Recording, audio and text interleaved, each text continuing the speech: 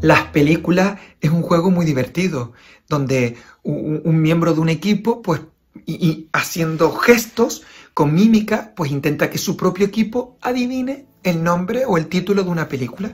¿Qué les parece si juegan a ese mismo juego, pero con títulos de libros o con títulos de cuentos? ¿Eh? ¿Han probado alguna vez? Bueno, le animo a que lo hagan, porque es igual de divertido. Y a veces más, porque imagínense que a alguien le toca hacer, por ejemplo, Pinocho. Ah, eso es fácil.